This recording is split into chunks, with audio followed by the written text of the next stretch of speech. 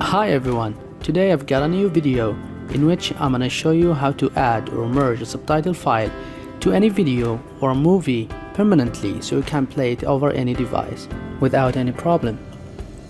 So here are the steps, keep an eye and start watching. First, go to the link that is shown in the description box of this video and download this software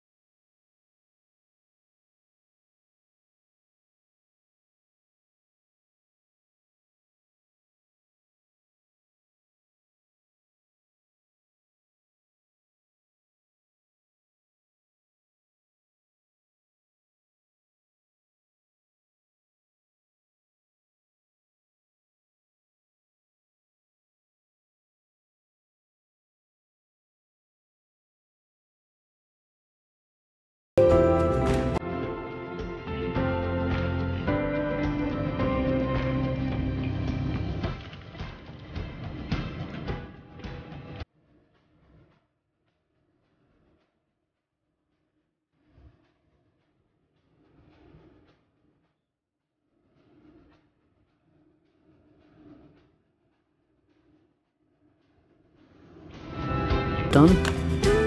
You have it here and you can check.